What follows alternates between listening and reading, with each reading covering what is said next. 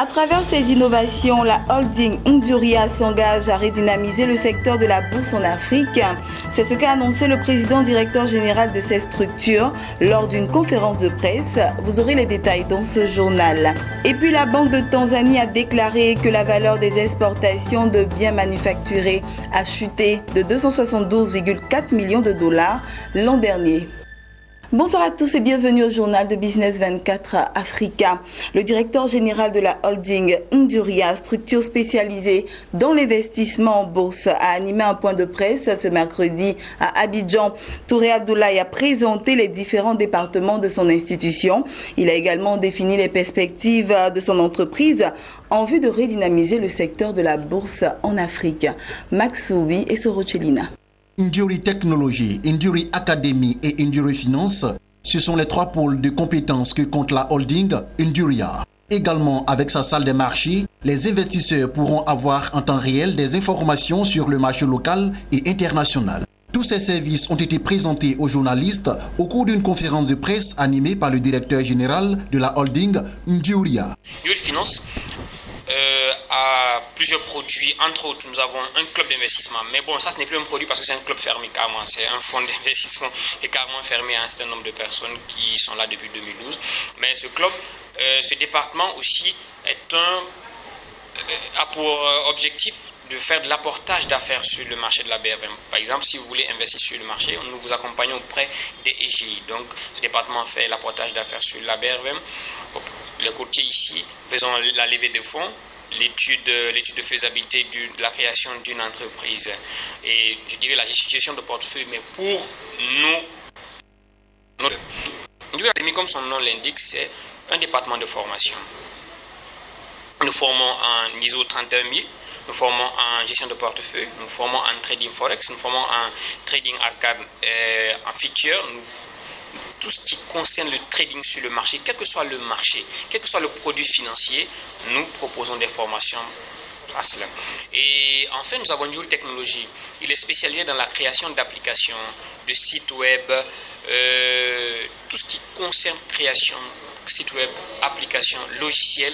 Ce département s'occupe de cela. Pour Touré Abdoulaye, il est important de bien s'informer sur les produits financiers avant d'investir en bourse. Il serait donc avantageux de faire appel à un professionnel agréé en vue de bénéficier des conseils adéquats pour un meilleur investissement boursier. Nous sommes tous traders dans, les salons.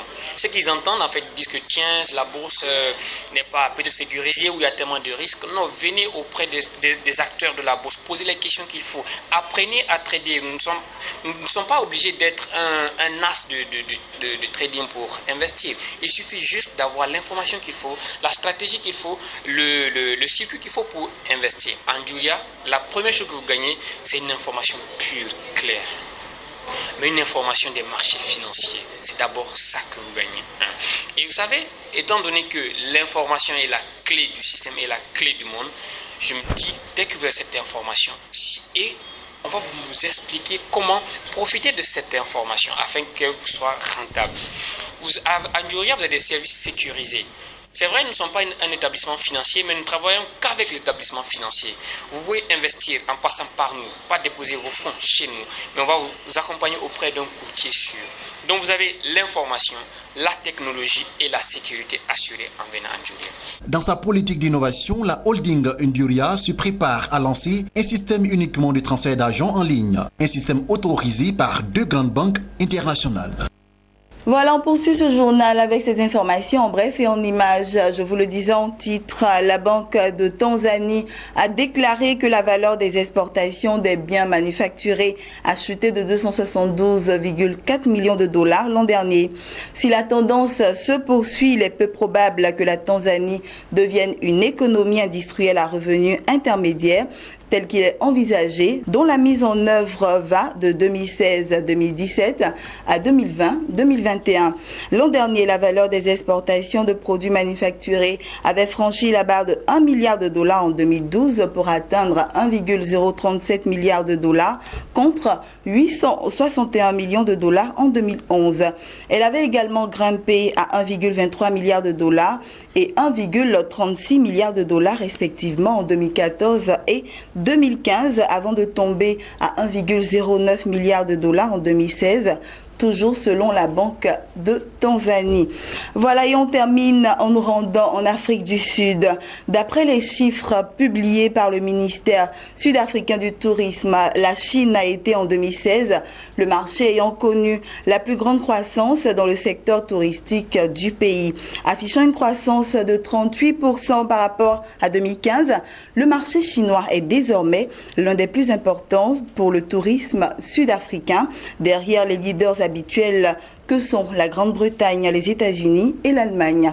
Toujours d'après les statistiques du ministère, les arrivées de touristes internationaux en Afrique du Sud ont dépassé les 10 millions en 2016, soit 13% de plus qu'en 2015.